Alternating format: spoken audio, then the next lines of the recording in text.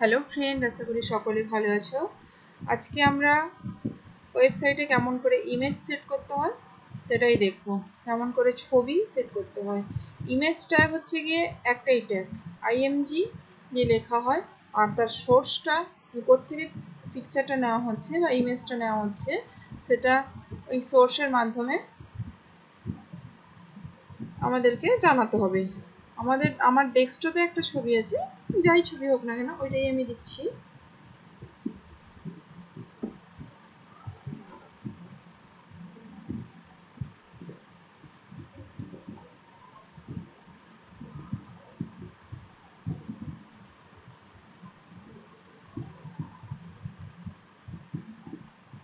একটাই ট্যাগ এর কোনো লাস্ট ট্যাগ নেই, একটাই ট্যাগে ফার্স্ট ব্যাকেট শুরু, ব্যাকেট শেষ।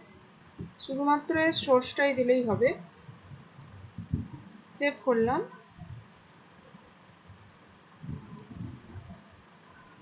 ছবিটা আমাদের বড় এসছে। অনেকটা জায়গা জুড়ে নিয়েছে। হাইট উইথ দুটোই বড়। ঠিক আছে, এটাকে আমরা এখন সেট করে নিচ্ছি। আমাদের প্রয়োজন মতো ছোট করে নিচ্ছি। এর জন্য আমাদেরকে হাইট এবং উইথ সেট করতে হবে। With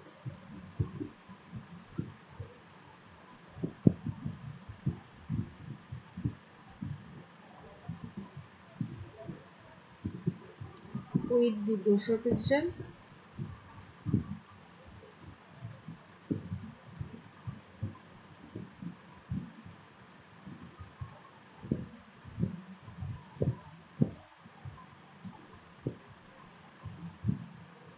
and height.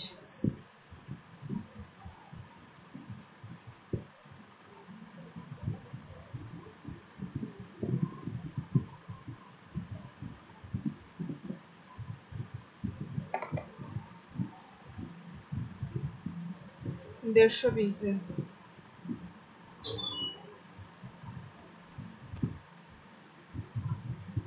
দেখা যাক পিকচারটা কেমন আছে। সেভ করলাম। রিলোড দিলাম। চলে এসছে এবার। আমাদের যেরকম ইচ্ছা সেরকম আমরা হাইট উইথ চেঞ্জ করে এটাকে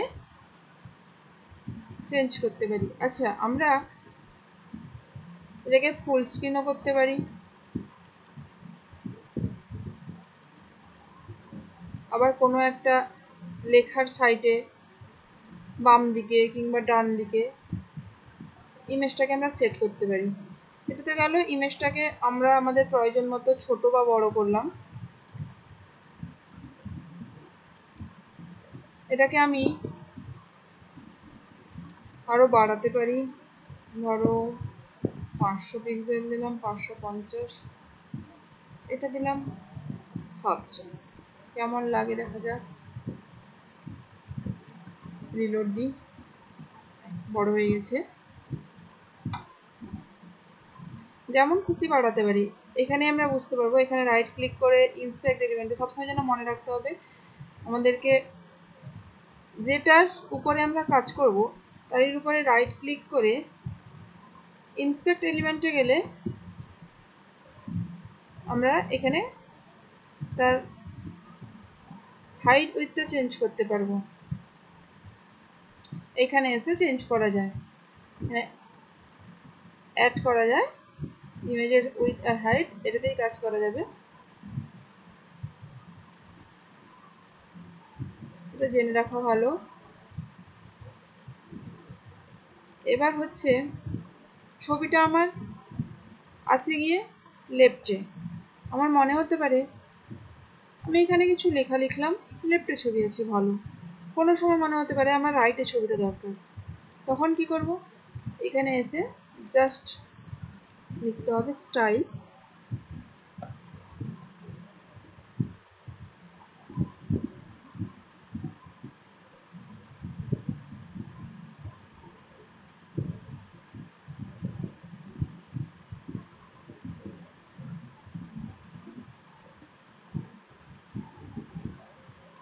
float.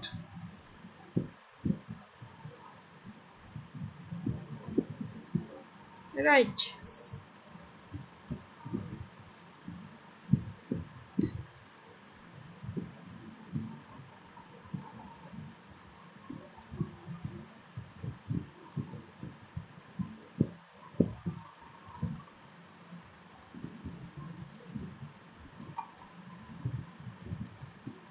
দেখা যাক পিকচারটা কোথায় যায় রিলোড দিই।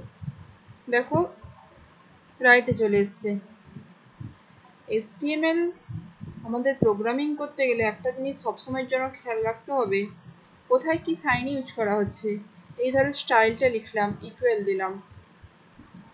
তারপরে কেমনভাবে ফ্লোট লেখা হচ্ছে রাইট লেখা হচ্ছে, সবগুলো কিন্তু একদম ফলো করতে হবে।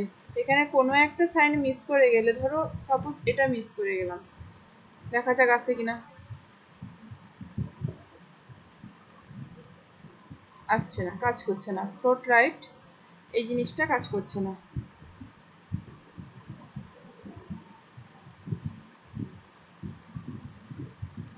এখানে আমরা একটা জিনিস বলে রাখি ইমেজ সেভ করার সময় সবসময় একটা জিনিস কেয়ারফুল থাকতে হয়। আমি এখানে অনেক ফাইল তৈরি হয়নি, তাই এটাকে আমার ডেস্কটপ থেকে নিয়ে নিয়েছি। ধরো অনেকগুলো ইমেজ ব্যবহার করা হবে। তখন তার জন্য একটা তো ফোল্ডার তৈরি করে রাখতে হবে। কিংবা আমি যদি আমার এই নিউ এই যে নিউ পেজ এই যে ফাইলটা নিউ পেজ ডট এইচটিএমএল এই ফাইলটা যে ফোল্ডারে আছে ইমেজটা যদি সেম ফোল্ডারে না থাকে, তাহলে এর সামনে একটা স্ল্যাশ দিতে হবে। স্ল্যাশ দিলে কি ব্যাক স্ল্যাশ দিতে হবে? ব্যাক স্ল্যাশ দিলে প্রথমে কি করবে? একটা ফাইল থেকে বেরাবে। তারপর কি? আমি যাই নাম তার ইমেজ ফাইল ইমেজ ফোল্ডারে যা নাম লিখি সেই ফোল্ডার নামটা দিতে হবে। তারপর আবার একটা স্ল্যাশ দিয়ে সেই ইমেজের ফাইল নামটা লিখতে হবে। দিলেই আমাদের এখানে ইমেজটা শো করবে। দেখো, আমি এখানে যদি একটা স্ল্যাশ দিয়ে দিই, তাহলে এখানে কিন্তু আমার ইমেজটা কাজ করবে না শো করবে না। এখানে ইমেজ শো করছে না, ওই জন্য এখানে একটা ইমেজের সাইন দিয়ে দিয়েছে যে এখানে ইমেজ আছে, কিন্তু শো করছে না। এটা সবসময়ের জন্য কেয়ারফুল থাকতে হবে। যদি আলাদা ফোল্ডারে থাকে সেম ফোল্ডারে থাকে, তাহলে একটা স্ল্যাশ আলাদা ফোল্ডারে থাকলে ডবল স্ল্যাশ এভাবে আমাদেরকে খেয়াল খেয়াল রাখতে হবে। বি কেয়ারফুল ইমেজ ট্যাগের ক্ষেত্রে। Thank you